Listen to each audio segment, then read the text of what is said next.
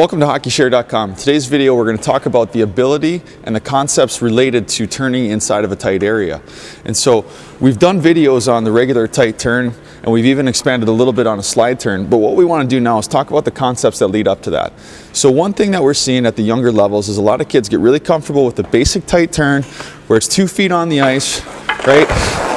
And they rip through the heels of their edges coming around the turn. And there's a time and a place for that. But what we also want to start to figure out is how do we make these turns in a much smaller, tighter area, right? Because we want to think about the skill that's going to take us and it's going to work at the next age group that we have to play in, whether it's juniors, college, professional, and so on. So in order to understand the dynamic that's going on here as we shift into this turn is we have to get comfortable with the ability to shift our weight in a very small movement. So the way we do that is we keep our feet underneath our shoulders, underneath our hips, and we shift our weight by just transferring a tiny bit with our hips to load up our outside leg. So now as we come in, we shift our weight and we're able to turn through it and come out the other side. So as we get into that, we're taking away the extra space required where guys are stepping out here before they enter their turn. And that's just wasted energy.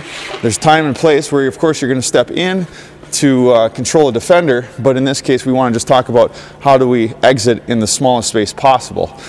Next, after you get comfortable here, one of the things that we have to do is understand how to shift our weight and then actually use our underfoot to open up and slide so that we can come back the other direction. So we're basically changing 180 degrees on this one. We're coming in, slide turn, coming out, and we're accelerating with power. So again, that's kind of your, your uh, classic pivot slide turn here. And what we're doing is we're coming in, shifting our weight, so we become, underfoot gets loose, the middle of our skate slides. So we're gonna pick this up, we're gonna allow this to slide on an outside edge, essentially act as a pivot point. Now this leg's gonna come around, it's gonna allow us to fully load this left leg. As this leg's coming around, our hips, our shoulders are opening, our head's opening, our arms are opening, and this leg's loaded. We have to have a confident under push with our under skate, with our pivot skate. So essentially we're in and we're out. And where you'll see a lot of guys lose it is on this out push. And that happens for a few different reasons. So things to watch for as you're training with athletes on this is number one, guys will put their heel and their inside skate will slip. It'll hit the ice and it'll chatter the entire way. So we want to actually start slightly toe down so that we can set eventually to the middle of our skate. Middle of the skate's where we're going to get that nice slide. And that's what we want. This is essentially braking and then we're coming off of that turn. The next thing you're going to see is that guys don't get it open enough. So they don't get this hip rotation far enough that they can actually use it to pivot back the other direction. And what happens then is their turn becomes much bigger. So it's going to get here and they're going to slide a lot further out to either side as their skate is still half open, half closed.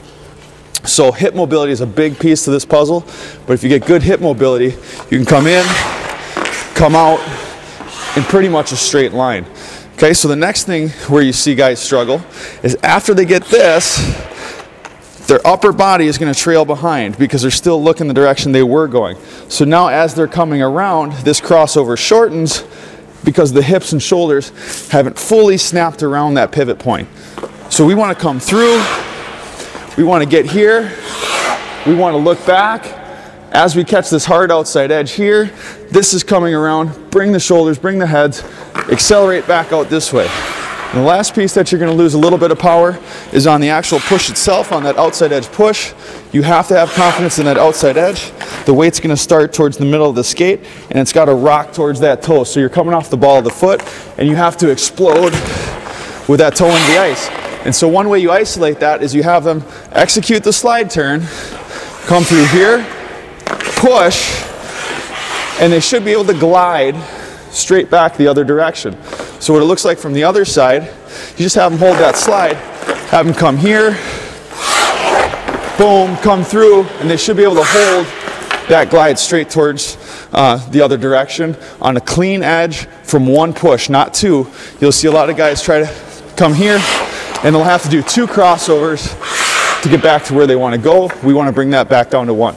Hope you find these tips helpful. We'll see you next time at hockeyshare.com.